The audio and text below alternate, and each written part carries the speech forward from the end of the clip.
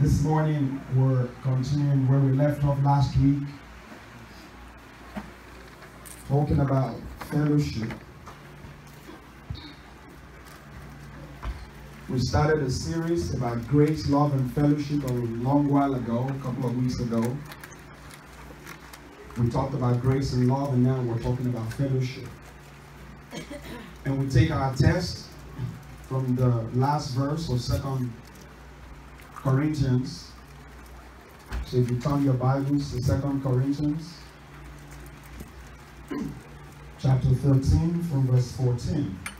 It's a scripture that everybody who has been around any Christian or any Christian gathering would know. And if you're a believer, I'm sure you know this scripture. It says, The grace of the Lord Jesus Christ and the love of God and the fellowship of the Holy Spirit be with you all. So last week, we began to talk about fellowship. Why would the scripture say, let the fellowship of the Holy Spirit be with you? Because the verse basically is saying, let the grace of the Lord be with you, let the love of God be with you, and let the fellowship of the Holy Spirit be with you. Why would he say for the fellowship of the Holy Spirit to be with us? We need to understand what fellowship is. And so last week we looked at the word fellowship in the Greek and it is the word koinonia. Amen. It is the word koinonia. And we said the definition of the word koinonia is fellowship, it is association, it is community, it is communion, it is joint participation. Basically, it is partnership. And when you use the word, there are three senses in which you would understand it. You could understand it as the share which one has in anything. So my fellowship is the participation that I bring to anything. So basically, I can understand that this word fellowship is not a one-sided word. It is that you bring your contribution, I bring my contribution, then we can be, we can say to be in fellowship. You understand what I'm saying? You cannot get married to yourself. There has to be a partner in order to be fellowship. And each of the partners must bring a contribution. So it is two fellows in the same ship. Amen. Mm-hmm. Amen. It is intercourse. It is intimacy between two partners. It is the gift jointly contributed. So when we put together our collection, it is fellowship because we are jointly contributing to do something. Amen. Now, when you begin to understand this word, fellowship, in this dimension, you begin to question what is going on here. So he's saying, let the partnership of the Holy Spirit be with you. Let the participation of the Holy Spirit be with you. That's the word fellowship. So, what partnership do I have with the Holy Spirit? What participation do I have with the Holy Spirit? Why is the Holy Spirit seeking to partner with me? I'm mere mortal. He is the Spirit of God, and He is God. Why would He want to partner with me? Amen. And so, when you begin to look at that scripture and query it that way, it begins to open up revelations to you. Amen. And so we, we said some very deep things last week, and I'll just repeat some of them for the sake of those who were not here, and then we'll continue from there. But before we began to talk about the fellowship of the Spirit, which our text refers to, we said in the Christian uh, faith, in the Christian work, there can be different kinds of fellowship. So the fellowship with the Spirit, or the fellowship of the Spirit. That's one type of fellowship that you can experience as a Christian. And if Second Corinthians chapter 13, verse 14 is not enough, Philippians 2:1 tells us that we have the fellowship of the Spirit, the fellowship with the Spirit. So there is such a thing as fellowship with the Spirit of God. And we can have fellowship with the Father, that is God the Father. We can have fellowship with the Son, that is Jesus Christ. And you will find that in those scriptures. The, the other kind of fellowship that a believer can have is fellowship with other believers. And that includes everyone. Whether your spouse, your children, other believers, we can have fellowship with other believers. And it is also possible to, for a believer to have fellowship with unbelievers. And then there is that which is called fellowship with devils. It is possible for a believer to have fellowship with devils. Now, in this series, as we talk about fellowship, we're actually going to talk about these five different kinds of fellowship and what it means for us. So today, we're really talking about the fellowship with the Spirit or the fellowship of the Spirit. Amen. So, why do I have fellowship with the Spirit? In all of those five fellowships, you can put the word partnership, participation. Why would anyone participate with demons? Why would a believer have partnership with demons? Amen. In order to understand fellowship, partnership, communion of the Spirit, we said we have to see the mystery that was hidden in the very beginning. And so last week we looked at those mysteries. We looked at what God hid at the beginning in order to understand why we need to fellowship with the Spirit. And one of the first things that we spoke about is that the earth was made by and belongs to God.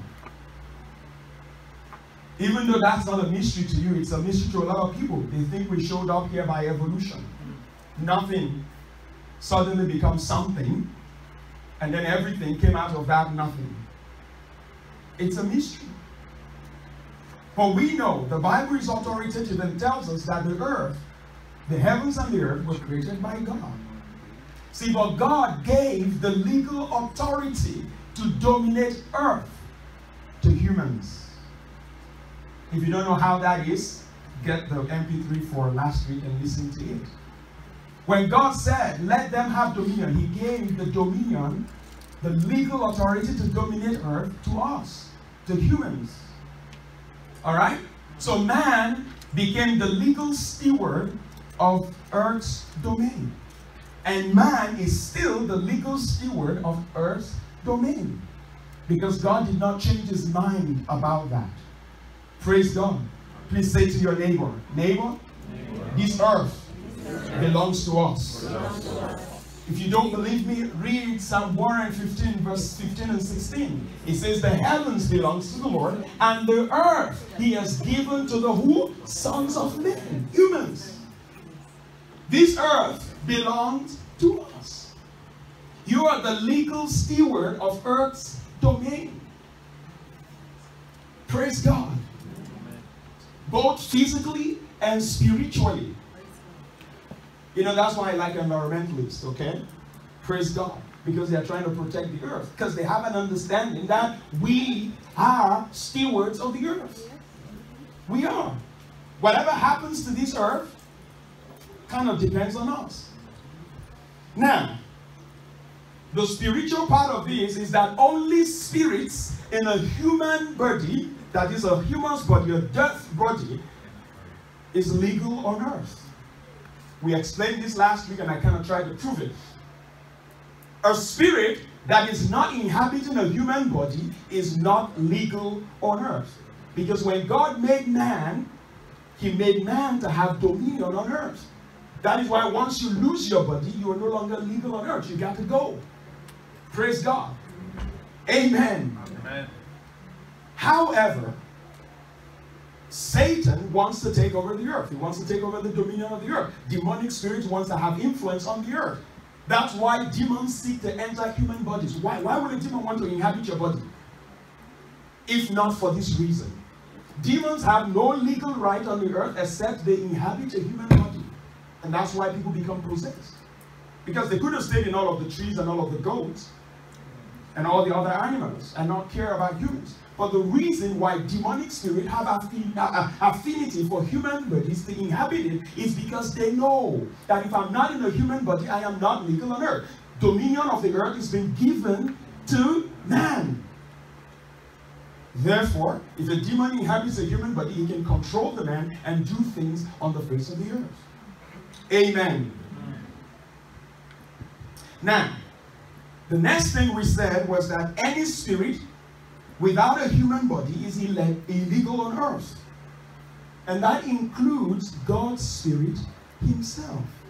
Why? Because God will not break His own word. When He gave the dominion of the earth to man, He did not include Himself. He said, Let them have dominion, right? Amen. Let them subdue the earth, right? Let them be fruitful and multiply. Heaven was his dominion. He gave us the right, the privilege to dominate earth. So his spirit will be illegal on earth if there is no human participation and partnership with his spirit. Are you following me? Do you understand where we're going to and where we're coming from? So any kind of supernatural influence on earth is only legal through the participation and partnership of the human being. So whatever Satan is doing on the earth is illegal.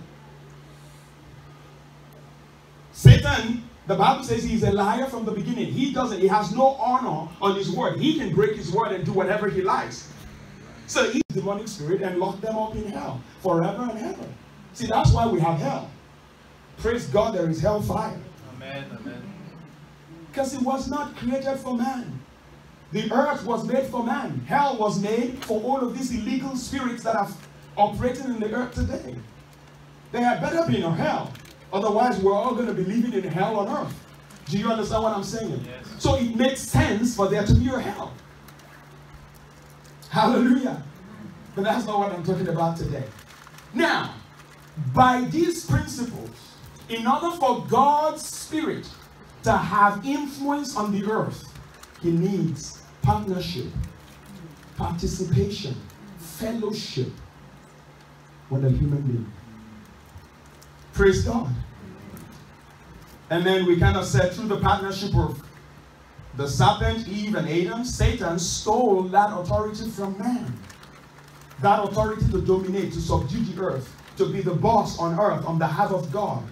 Because the Bible says, whosoever you obey to that person, you're a slave. So by obeying the devil and disobeying God, in the beginning, man became subject and slave to Satan. And he could rule. But his lease has run out. Amen. Amen. Because Jesus came, God, through partnership with another human called Mary, came into human domain legally to restore that authority.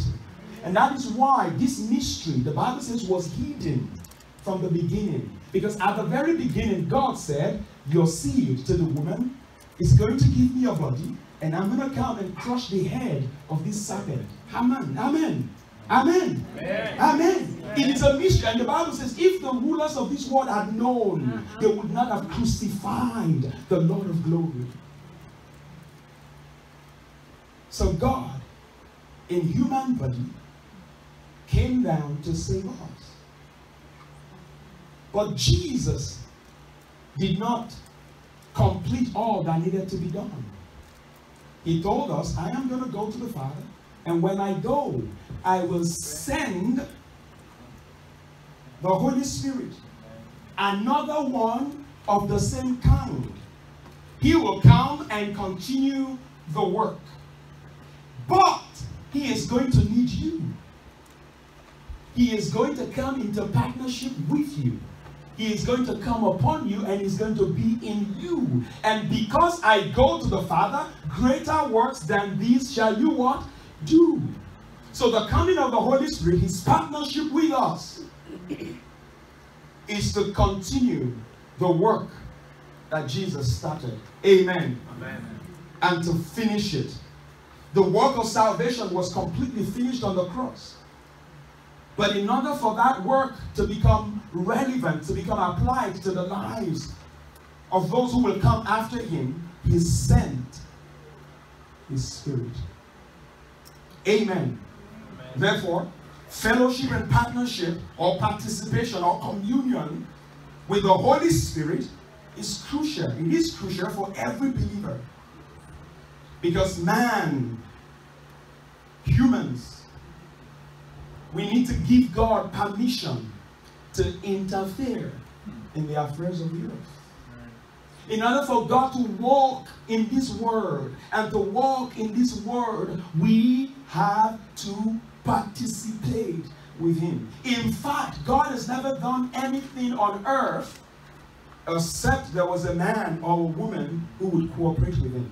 Have you realized that? Amen. Go and check it. In everything God has done, from Genesis to Revelation, He has never done anything on earth except there was a man who was willing to obey, to believe Him, and to cooperate with Him. Did you think God could not just make an ark appear when He sent the flood? Could have. Could have just, okay, ark, you go in. I'm sending rain. Done. But that would be illegal. And God does not break his own word. So he needed to come to Noah and say, Noah, I'm sending a flood. And Noah had to believe and build the ark. And by doing so, Noah condemned the word. You know, it was Noah that condemned the word. It was Noah that brought the flood. He was like, I'm preaching, I'm telling you guys now, God is going to send rain. And they were like, there's not been such thing as rain. How is it going to happen? Well, I'm telling you, and so, by the permission of Noah, God could do what he did. Look at it. Any story in the Bible, anywhere God has done anything, he needed the cooperation of a human being. The one that amazed me the most in the destruction of Sodom and Gomorrah. You see, God was going to do stuff. And then he said, Can I hide this thing from Abraham, my friend? This thing that I want to do. And so he went to Abraham you, you know what? I'm trying to destroy Sodom and Gomorrah. I need your permission to do it. And the guy said, Hold on, hold on, hold on. I'm not going to give you my permission. If you find 50 people, would you do it? Oh, if you find 50 people, of course, deal done. I'll leave him alone. And then Abraham began to bargain. Do you think God needed to ask Abraham before he could do that? He's the Almighty. But if he did, he would be going against his own word. Because he did not include himself in the dominion for earth. He gave it to man. So there must, there should, there had to be a man who says, God, I agree you should destroy Sodom and Gomorrah, but don't do it if there are 50 people right there that are righteous. And they bargained and bargained and bargained and came to 10. If you find 10, would you do it? God said no. Unfortunately, God couldn't find 10. Lot hasn't been doing a good job. Praise God. But God said, Well, I'll let Lot go. Look at it. Any scripture, in any story, whether in the old or in the new, God did nothing except that which He had found a man to agree with Him. In fact, the scripture in Amos says, God will not do a thing except that which He has revealed to His servants, the prophet. Did He need the permission of mortal men? Absolutely yes because he keeps to his own word. In fact, in our days, God does not do anything until he finds a man or a woman who will partner with him. Because it is talking about earth. In heaven, God does not need to ask you, he just does his stuff. But on earth, he has to come to us. In fact, do you know God needed a man to agree that Jesus could come and rescue us? And he found that man in Abraham. Would you give me your own precious son? The son that you waited for 25 years to get. The one that I promised you, that I said, through him, the whole earth will be blessed. And Abraham obeyed. And when he took it upon himself to give his only begotten son to God, God said, Yeah, now I have permission. Let's set it in motion. I'm going to bring Israel through you and through your lineage. That man called Jesus Christ, who is God in mortal flesh, is going to come down and rescue us. If he had done it without Abraham's obedience, he would have, he would have broken his own word. So, In everything on earth, God needs the permission or the partnership of you and I, of one man, in order to do it. It, sounds heavy, I know it sounds too deep for some people, but it is the truth of Scripture. In fact, in Isaiah, it says, I looked for a man who will do what? Stand in the gap. Why, why, why was he looking for a man? Couldn't he just do whatever he wanted to do? He had to, because by his own principle, he had given the authority and the charge of the earth to man. You know, it doesn't matter how powerful the prime minister is, he cannot just come into your house and just do stuff. Even though he is the prime minister of the country, right? But in your house, you have legal, in fact, you will be trespassing. And if he was in Texas, you could shoot him.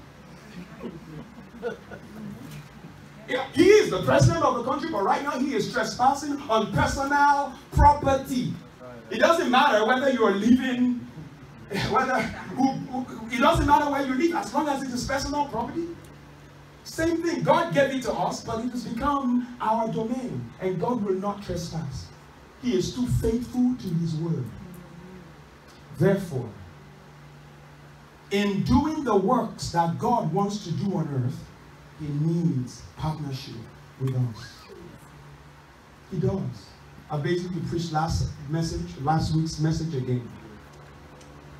But I did that in order to create a foundation upon which I want to build these couple of points.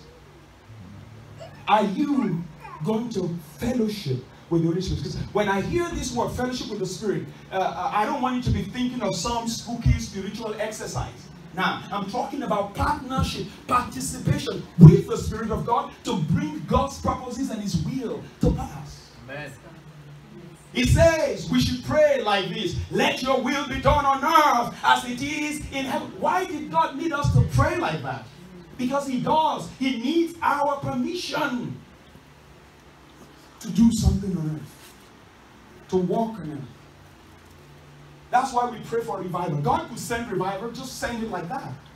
But he will not. He will be breaking his own word. He needs us to cooperate with him, to cry out to him, to plead with him, to say, let the revival come. And then it comes. Amen. Amen. Am I making sense to anybody?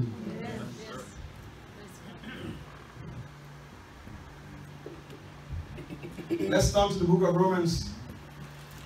Oh, praise God. Please permit the Holy Spirit to speak to you today. Just open your heart.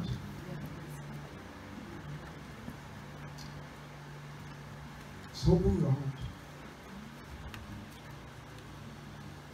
In Romans chapter 8, verse 26, the Bible says, Likewise, the Spirit also helps in our weaknesses, for we do not know what we should pray for as we ought. But the Spirit Himself makes intercession for us with groanings which cannot be altered. So I begin to think how do I fellowship with the Holy Spirit? How do I partner with the Holy Spirit? How do I participate with the Holy Spirit in what God wants to do on earth? And I'll give you a couple of points from the scriptures. I may not be able to explain everything in detail, but I'll just give it to you. Just read the scriptures that will be on the screen when you get home, and you will get some revelations from there. Number one, the first thing that we must do in order to fellowship, in order to partner, in order to participate with the Holy Spirit is to let Him dwell in our bodies. Do you know that there are many believers who don't want the Holy Spirit to dwell in their bodies? They don't want the Holy Spirit to live in them. What I mean by that is this they are born again, the Spirit of God is in them, because you cannot be born again except that the Spirit of God is in you, but they are not filled with the Holy Spirit. And they don't want it. Higher. Amen. The Holy Spirit seeks to dwell in human bodies. So if you've been born again, by the Spirit of God, and you've not had any desire to be filled with the Holy Spirit, to receive the baptism of the Holy Spirit, you're basically refusing to allow the Holy Spirit partner with you. Amen.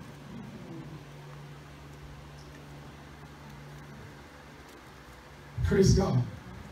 And it is the truth. But I can deal with the details of that later. Now, if you begin to look in the Bible, there are a couple of scriptures that just every time I read it are, are astonishing. For example, in 1 Corinthians chapter 6, we will read 19 and 20. I want to show you something. It says, Or do you not know that your body is the temple of the Holy Spirit who is in you, whom you have from God, and you are not your own? For you were bought at a price. Therefore, glorify God. The NIV says, Honor God in your body and in your spirit, which are God's. So God paid a price in order to inhabit your body, to make your body the temple of the Holy Spirit. If you flip back to chapter 3, verse 16 and 17, it says, Do you not know that you are the temple of God and that the Spirit of God dwells in you? And then it adds a few scary statements. If anyone defies the temple of God, that is your body, okay, God will destroy him. For the temple of God is holy, which temple you ah. are. That scares me. But that's true.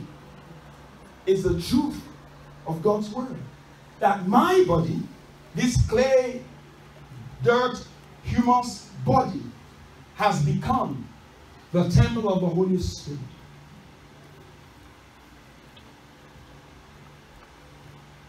Therefore, you need to treat your body as the house of the Holy Spirit.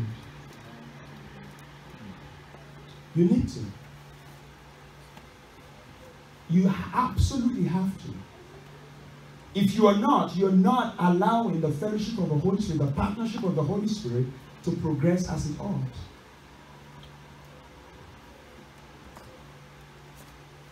In reading this scripture again, if you actually go to 1 Corinthians chapter 6 and you start from verse 12, and, and I want to read that, just permit me this morning. It says, All things are lawful for me, but all things are not helpful. So, for those whose bodies are the temple of the Holy Spirit, they must realize that all things can be lawful for you, but not all things are helpful for the partnership that you're getting into. Amen. Praise God. All things are lawful for me, but I will not be brought under the power of any. Foods for the stomach, and the stomach for foods, but God will destroy both it and them. Now, the body is not for sexual immorality, but for the Lord, and the Lord for the body. And God both raised up the Lord and will also raise us up by his power. Now, listen to a couple of these verses. Do you not know that your bodies are members of Christ? Shall I then take the members of Christ and make them members of a harlot or a prostitute if you're reading the NIV? Certainly not. Or do you not know that he who is joined to a harlot is one body with her? For the two, he says, shall become one flesh. But he who is joined to the Lord is one spirit with him. Flee sexual immorality. Every sin that a man does is outside the body, but he who commits sexual immorality sins against his own body. Or do you not know that your body is the temple of the Holy Spirit which is in you, whom you have from God, and you are not your own? In meditating on this scripture, two things kind of became evident to me. I realized that it is not when you come to the church and stand before a priest and say a vow in what we call marriage or a wedding ceremony that two flesh becomes one. By scripture, it is not marriage that make two flesh to become one. It is not. Amen. The plain reading of these few verses tells us that when a man goes into a woman in sexual intercourse, that's what makes two flesh become one. Right? Is that clear? Because you're not saying a vow with a harlot. You're not like, oh, today I join myself to you. No, you're not saying all that stuff we say here. All the stuff we say here when we conduct a wedding, those are covenants that must be kept. But it is the intercourse after that makes two flesh become one. That's what he says plainly, right? Yeah. And that was quoted from Genesis chapter 2, verse 24, and Matthew chapter 19, 4 to 6, when Jesus said the same thing as well. That the two shall become one. While they're in church saying their vows and all of that, they haven't become one. it is the intercourse afterwards that makes them one. And it needs no prayer. It needs no exchange of vow. Now, what am I saying? What I'm saying is this. For every believer, when you have this understanding, sexual immorality takes a new dimension. Because it is no longer just sin, it is destroying your partnership and fellowship with the Holy Spirit. That is why now I know when the Bible says every other sin is without the body. But this one is particularly dangerous because it is with the body.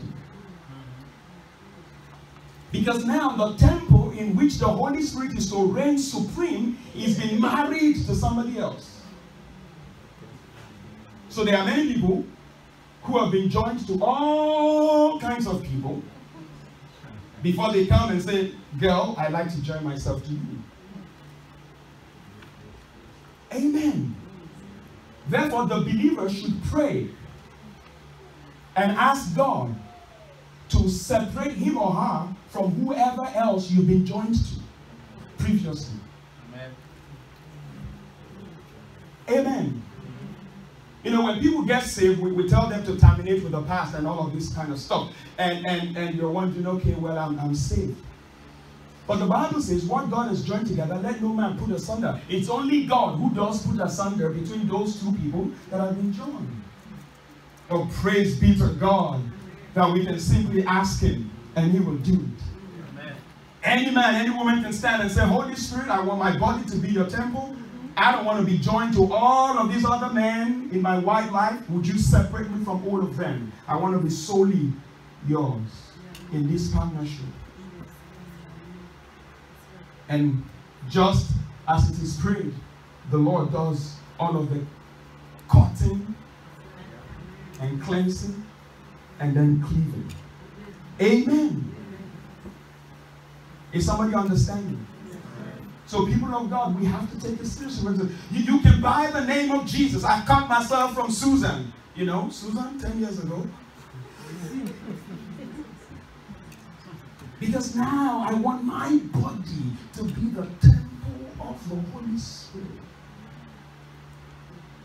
And those that have been saved, that have been cleansed, that have been washed, that are now temples of the Holy Spirit would know that they can stand and declare the Holy Spirit lives in me. He is at work through me. So that when sexual immorality presents itself, you know the target of the devil.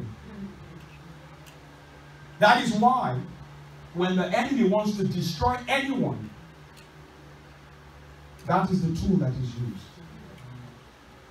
Because once he is able to end your partnership with the Holy Spirit, there is not much you can do. But again, thanks be to the Lord Jesus because he is able to clean, to cleanse us, to wash us, to make us whole Amen. when we come to him. In that place, it says, honor God with your body. How do you then honor God with your body? Quickly, number two, by yielding our tongues to the Holy Spirit. To honor the Lord with your body, you let the Holy Spirit dwell in you and fill you. If you've not been baptized in the Holy Spirit, ask Him to baptize you in the Holy Spirit because He needs you. He desperately needs you. You keep your body pure and useful to God. That's why the Bible says to flee sin, to flee sexual immorality, to flee these things so that we can be useful to God.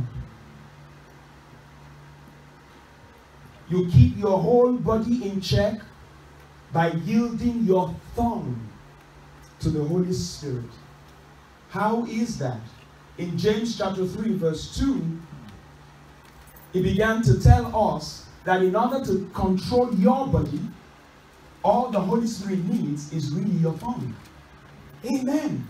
Such an amazing revelation. In order for the Holy Spirit to take care and take control and take hold of all of your body, all he needs is your tongue. That's one of the reasons why praying in tongues is so powerful.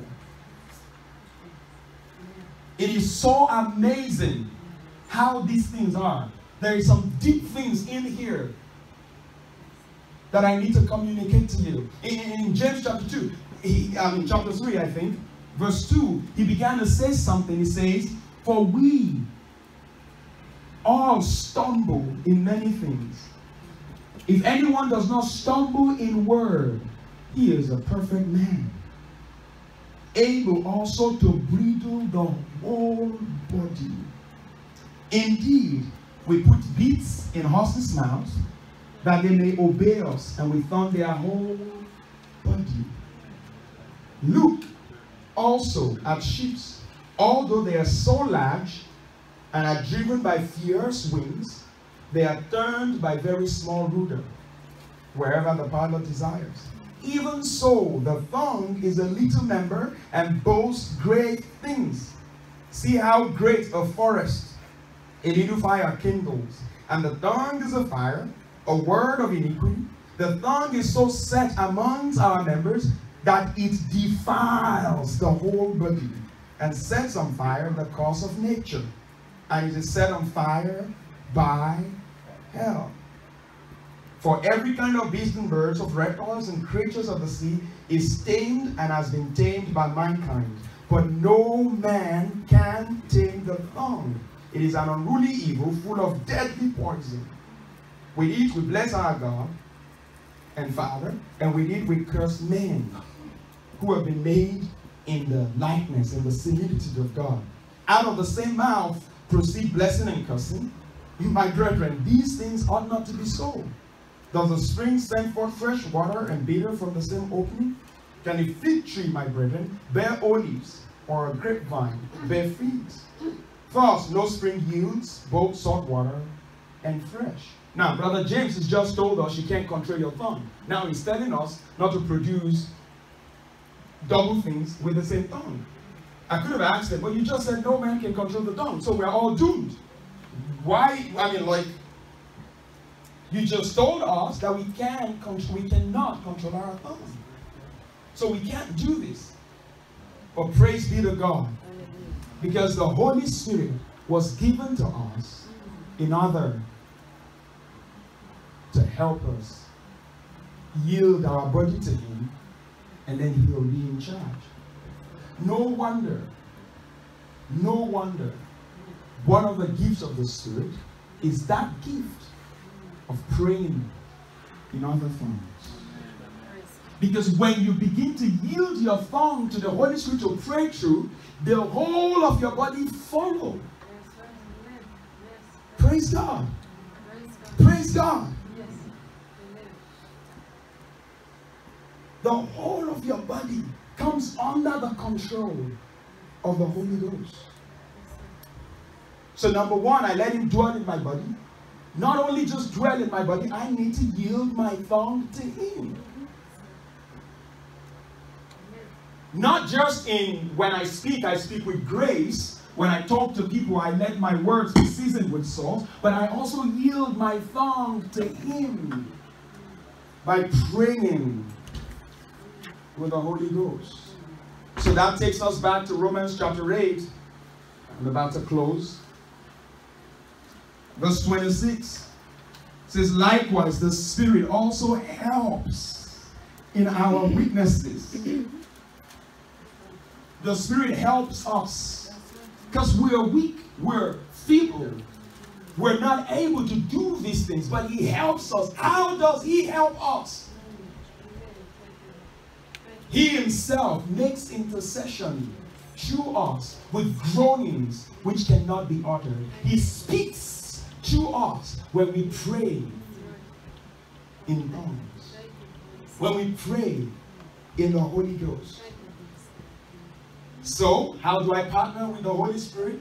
I let Him dwell in my body. I seek and receive the baptism of the Holy Ghost. I yield my tongue to Him by watching the words that I speak, by speaking with grace. But then, more to it, I pray in tongues. The Holy Spirit wants to use your entire body to do the will of God on earth. He wants to use your hands. He wants to help the poor with your hands. He wants to go places through you. He wants to send you to places where He wants to go. He wants to use your resources.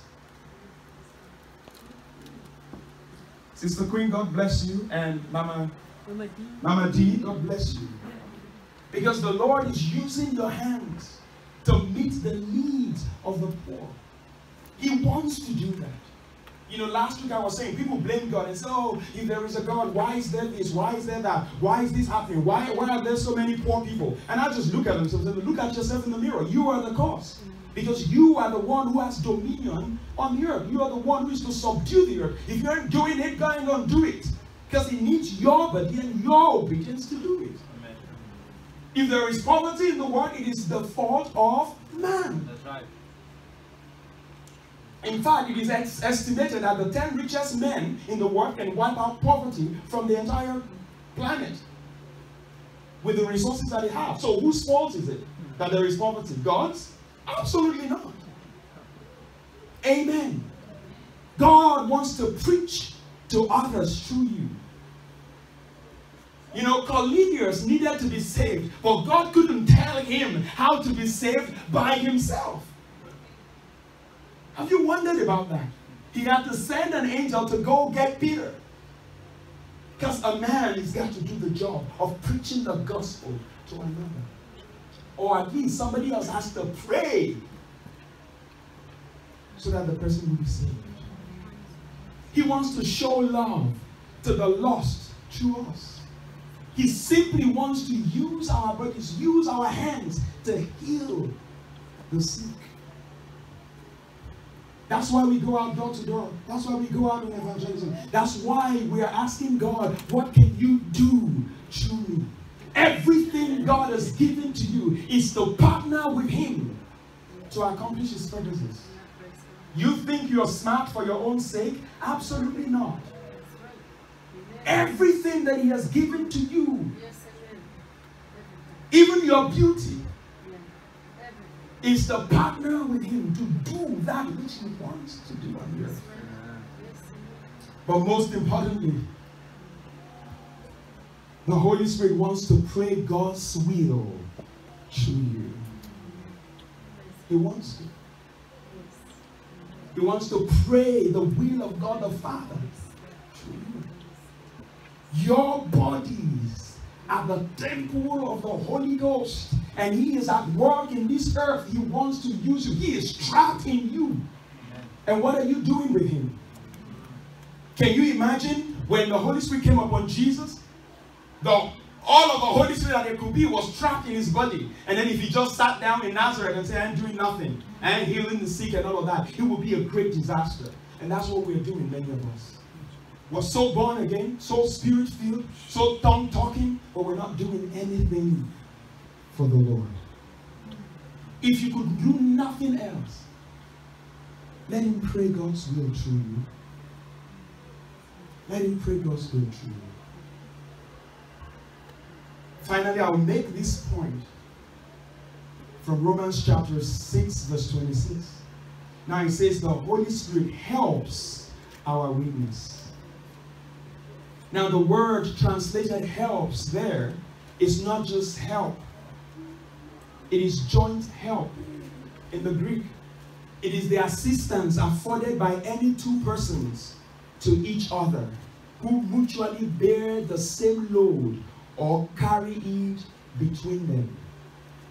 You know, if I want to carry something and I call from the UK and I grab one end and he grabs the other end, that is exactly what the word means.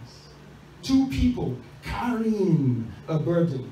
That's what that word means. So when the Bible says the Holy Spirit, likewise, the Holy Spirit helps our weakness. He is saying, you got to bring your tongue, you got to commit the time, and I'll do the speaking. So it has to be two people who are in. That is exactly what fellowship is. That is exactly what partnership and participation with the Holy Ghost is. You both partner together to bring God's will to pass. Do you know that those of us here were enough to change the country? If you would just say, Lord, use us Lord, birth in me a new zeal to find and to seek you, to let your purposes, your will be done in Canada as it is in heaven. All that you have made up your mind to do in our country, you've already settled it in heaven. I'm going to pray until it comes to pass. And the Lord will do it. Just one man says, Give me Scotland, else I die. And God responded. Just one man said, Let there be revival in New York, and began to pray, and God responded.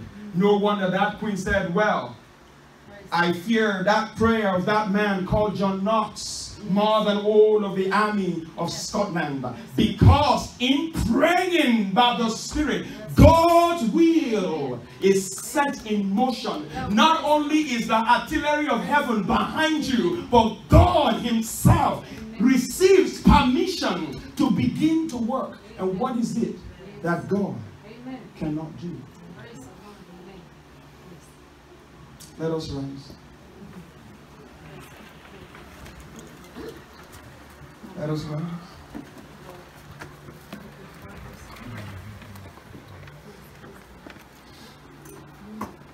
Thank you, Jesus. Thank you, Jesus. I want to plead with you.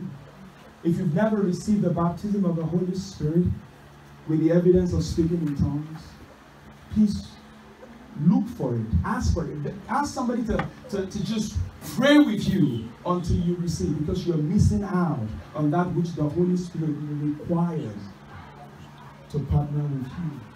And if you receive the baptism of the Holy Spirit with the evidence of speaking in tongues and you haven't been praying in tongues, I want to beg you, begin to set, uh, set time aside to do so. To do so.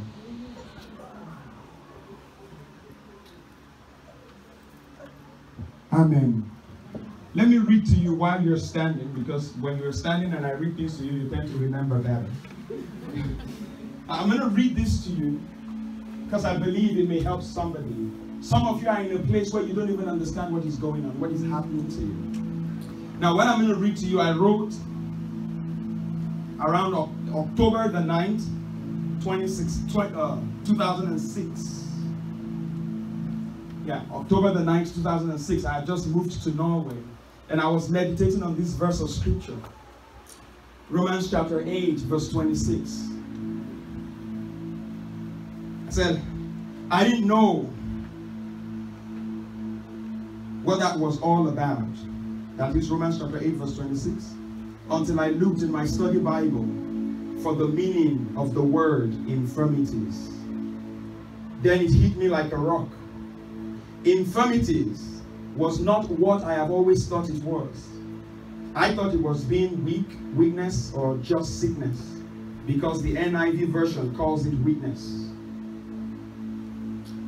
But it truly means feebleness or weakness of mind and body, malady, frailty, diseases, sicknesses, and the result of such weakness or sickness. How does that change anything?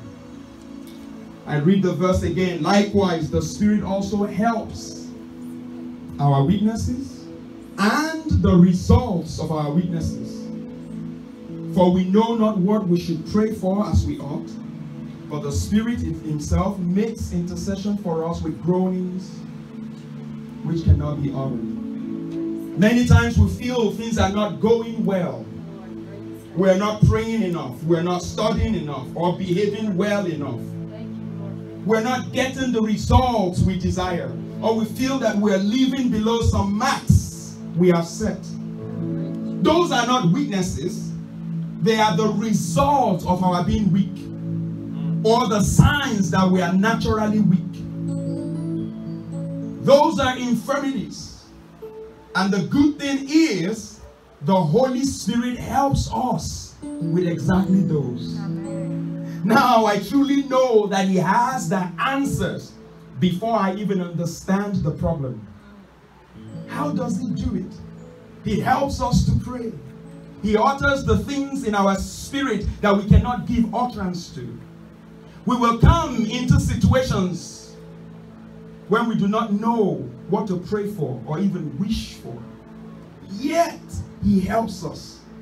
Just like I didn't know how to even pray in the last couple of weeks. Just being dry and out.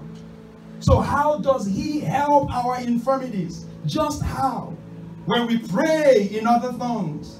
First Corinthians chapter 14 explains how to do this beautifully. Verse 4 He that speaketh in an unknown tongue edifies, builds up, strengthens, grows up, fortifies himself. Verse 14 For if I pray in an unknown tongue, my spirit prays, but my understanding is unfruitful. When you pray in tongues, the Spirit prays, and that is how He helps our infirmities. The result of our inherent weakness, our flaws, all the things that seems to go wrong, our shortcomings, and all the rest. Even when it is so hard or so bad, we don't even know what to wish or ask for. Anyway, in simple terms, when I feel the way I feel in the past few weeks, it is as a result of weaknesses in me, in my spirit or in my system. The way to correct that is to pray in tongues. When I sense my shortcomings, and maybe some of you are sensing your shortcomings today and I have done all that I know to do, like confessing my sins and correcting myself to no avail. then I need to pray in the spirit. When life throws things we can hardly understand at us, when problems we can hardly comprehend begin to show up, and we have done all to no avail, it is time to go on our knees. A lot of us get to this point that is the point of going on our knees. But then we try to pray our way through and construct the words for ourselves. Meanwhile, we don't even know what to say or pray about properly. I have made those same mistakes several times. But the correct thing to do is get on my knees or on my face or in whatever posture that I need to get on and pray in tongues till there is a building up of my spirit till the spirit has finished saying all the things I cannot utter to God on my behalf. It may be 30 minutes, it may be one hour, it may be two hours, or all day long. But we must be willing to tarry long enough and just pray in tongues till it has all come out of our spirit. At first, it may seem dry and shallow.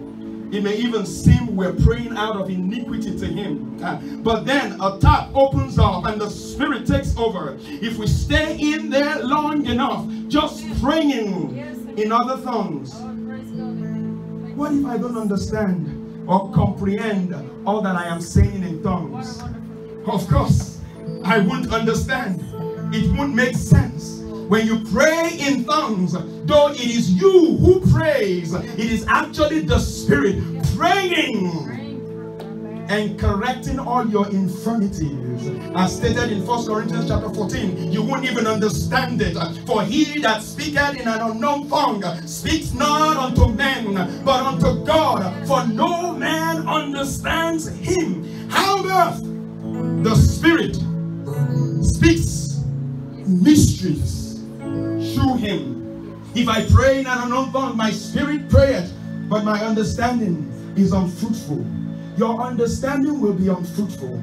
I love that. How I have struggled with my weaknesses and shortcomings. How I have beat myself with my lack of understanding of what is wrong with me and in me. How I have just stopped.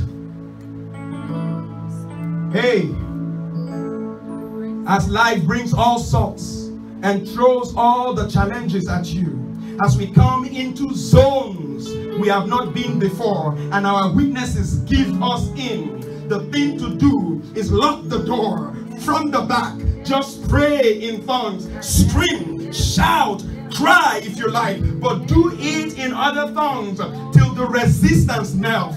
Employ the help of the Spirit. As you get better understanding of the situation, you can then also pray in understanding till you feel a victory in the realm of the Spirit. Pray until you feel a victory in the realm of the Spirit, and then go out there and overcome. Everything is first spiritual before it is physical. Quit moving, quit mourning, quit. I will quit. I will just pray in other tongues, whether I feel like it or not, whether it makes sense or not, till the Spirit comes to my rescue. Hallelujah. Could you just close your eyes and pray in other tongues if you could? Thank you, Spirit of the Lord, because indeed you help our infirmities, you help our weaknesses, and even the result of the fact that we're inherently weak. Thank you, Holy Ghost. You've been sent to help our weaknesses, to help us, to help us, to help us. You've been sent to help us, to partner with us, and to bring the will of God to pass on the face of the earth. We will pray in the Spirit. We will pray in understanding. We will pray until your will is done. We will cry. We will shout. We will cry. We will shout. We will scream. Whether we understand it or not, we will just cry out to you. And you will come